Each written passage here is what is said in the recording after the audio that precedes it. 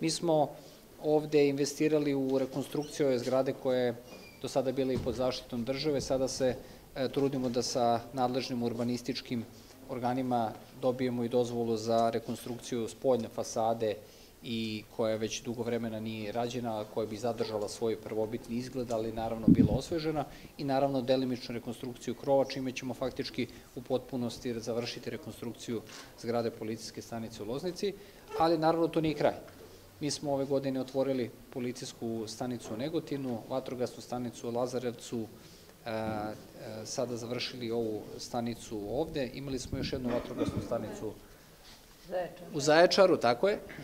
i hoćemo naravno da nastavimo dalje. Imamo, započeli smo ove godine već bez obzira na vanredno stanje i rekonstrukciju jednog dela policijskih stanica širom Srbije. E, hoću se zahvalim gradonačelniku na dobroj saradnji. Dakle, saradnja sa lokalnom samoupravom je na izuzetnom nivou, to kažu i gradonačelnik i načelnik policijske uprave i uvek mi je drago kad čujem da ta saradnja funkcioniše na, tako dobar način i naravno hoću da se zahvalim i na onim investicijama. Loznica je ipak odvajala novac da pomogne kupovinom vozila u prethodnom periodu što je značilo policijskoj stanici i to, na tome uvek, hoću da kažem hvala. Naravno, mi ćemo i svojim sredstvima nastaviti da opremamo policijsku stanicu, iako je ona danas jedna od popunjenijih što se tiče kadra, hoćemo da i dodatnim vozilima pojačamo njihov rad i pogotovo što je ovo granično područje,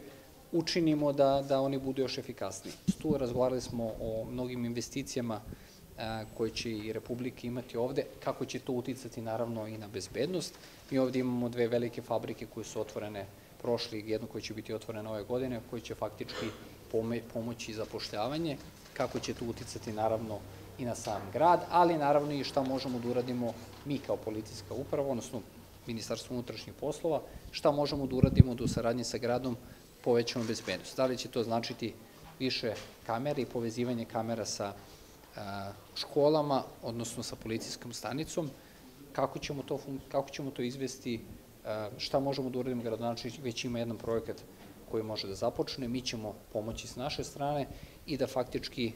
cela policijska uprava, pre svega Loznice, kad pošto danas govorimo o Loznici, bude pokrivena kamerama koje će pre svega biti nadzor nad školama i vrtićima i koji će omogućiti da naša deca budu potpuno sigurni. Hvala i svim građanima koji su nama pomogli, hoću se zahvalim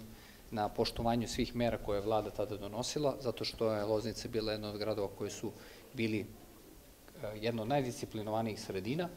i zahvaljujući tome eh, mogu da kažem da je Srbija možda brže nego neke druge zemlje izašla iz, eh, da kažem, ove teške situacije koja je zahvatila ceo svet. Svakako da je granica postaje sve značajnije pitanje za sve države Evropske unije, pa naravno samim tim i za nas, ne samo što se tiče migracija, ne samo što se tiče nadzora granice, već i naravno šverca, već i kontrole granice, bezbojnog prelaska ljudi i prekogranične saradnje u otkrivanju najtežih krivičnih dela. Dakle, imamo ta, e, kažem, ta uprava u policiji je možda i najviše napredovala u posljednjim godinama, ne možda toliko glasno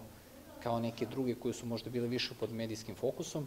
ali danas granična policija ostvaruje zaista dobre rezultate, ima i dobar kadar i ima i dobru opremu i tehniku, dakle, koja može da sve svoje zadatke obavlja efikasno.